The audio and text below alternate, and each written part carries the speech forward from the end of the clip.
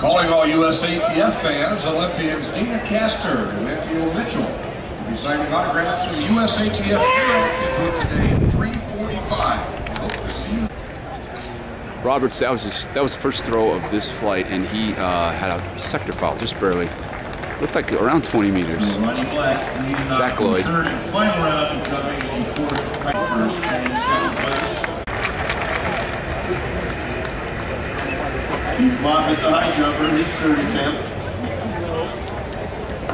He's currently in eighth. If he clears this, he will move into third.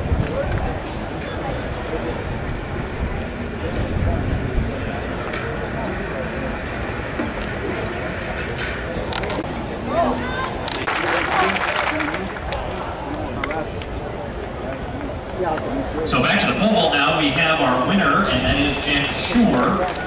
She has now elected to move the bar up to 4 meters 93, 6.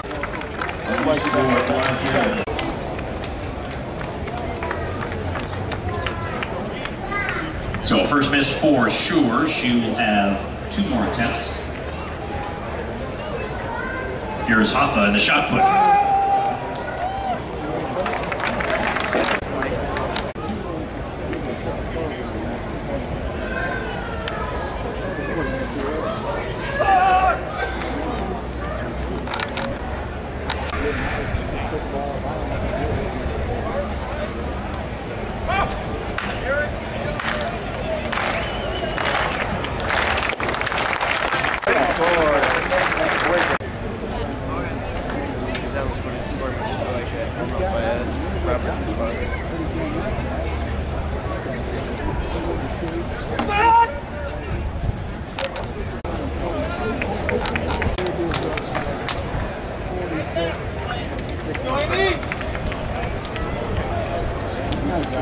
46 and 50.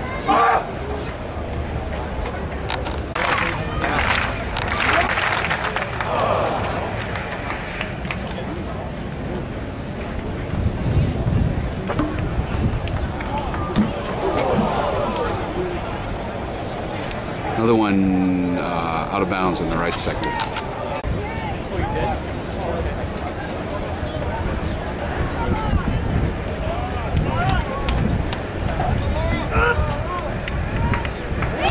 There we go. Barry Kramus, 77-36, 253 feet, 10 inches, javelin leader.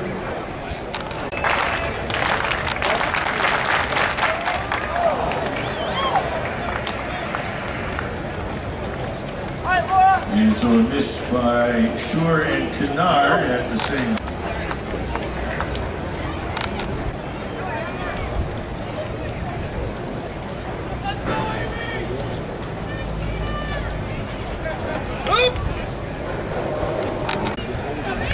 Right now for next event on the track, this will be the women's 800 meter final. In lane one, she was All-American in her freshman year at Stanford University, Amy Weissenbach. In lane two, the NCAA runner-up this year and the London Olympic Games Nice. running for Nike, Geena Gall. Olympic trials last year was an All-American at UC Riverside as the fastest time by American this year, second fastest time in the world, 158.18, Brenda Martinez. Ivy League champion, now running for Oiselle in the New Jersey, New York Track Club, Kate Grace. Women's 800 meter final. Under 201 in the semifinals, and as is usually the case, to the lead with authority, that is Alysia Montano. Ajeé Wilson. It was good to hit a decent breeze today. We bring him down the home stretch for the first time. Wilson, hit six, seven, nine at the bell.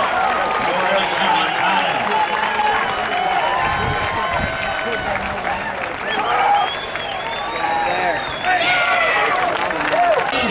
Now as Ajeé Wilson moves into third, just behind Martinez.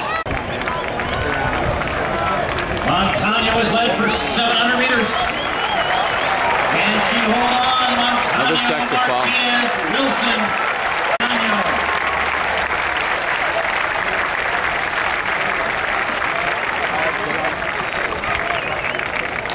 Second at 158.18.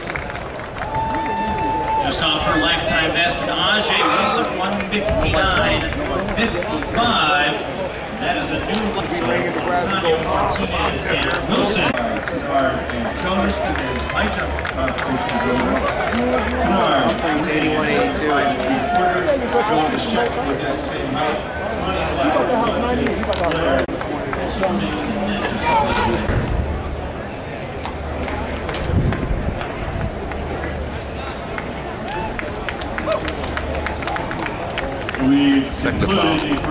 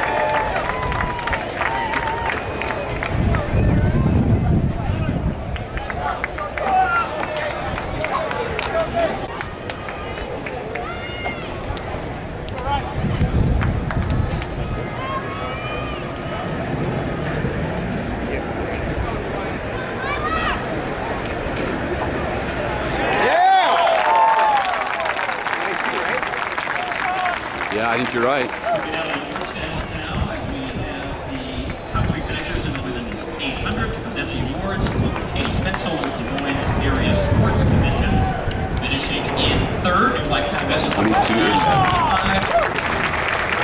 And now the fifth U.S. Title Tour Trophy case, winning time, new stadium record